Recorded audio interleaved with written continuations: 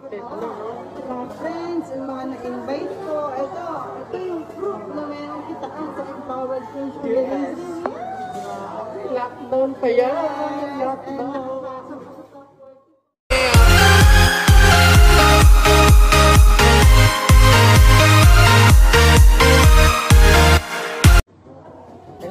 Day sa ating lahat. Yan, papakilala ko sa inyo guys, yung top earner natin sa grupo ko. Walang iba, kundi ang aking wife. Mrs. Samuya, yan. Ito yung kineki niya sa loob na isang linggong income. Grabe! Ah, ito na kinita ka ng one week. 49,225. As money lang yun ha, kumita na tulad ko. Kaya ini-invite yung mga namin tulad ko. Kina-challenge ko kayo na nagayahin yung sistemang ginawa ko. Ayan. Automated no? Mga friends, yung mga na-invite ko, ito, ito yung proof na meron kitaan sa Empowered Consumerism. Yes. Grabe, Lockdown pa yan! Lockdown! Yun! Grabe!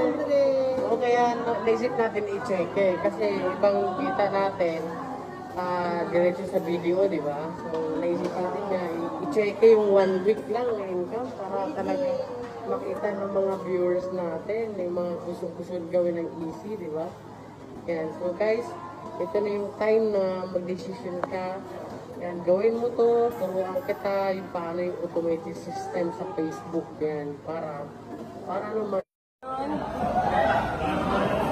1 million, 109,950. Ay, grabe. Yan, ito ang releasing times. Ito, ito na, ito na.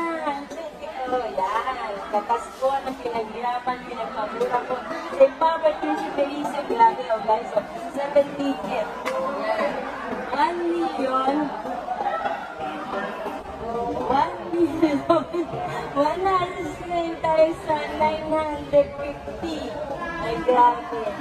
Yan, ito ang releasing ko ng ating cheque. Tingnan nyo guys, pangalan ko yan. Yan, Mary Jane Santos. So, so, after nito guys, kukuha tayo sa Dexo. Sa Dexo naman. O, di ba? Mga shopping.